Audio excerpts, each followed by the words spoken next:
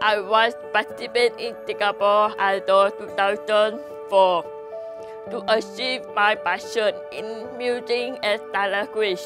And I was there to show what deaf people can do.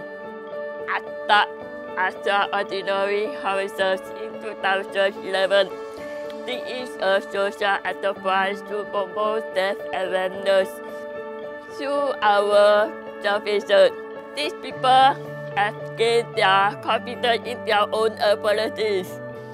When learning music, I take a lot of patience and perseverance to help teach them not only learning, but we think about our issues.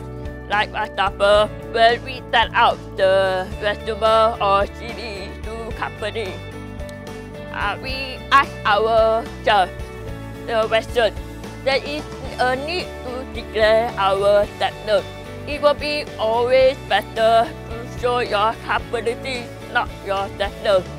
The first person come into my mind in Evelyn Glennie.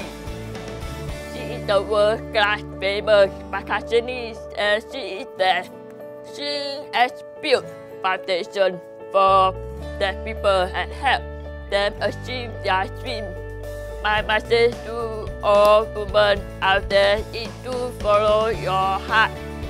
And when you believe in your dream, you can achieve them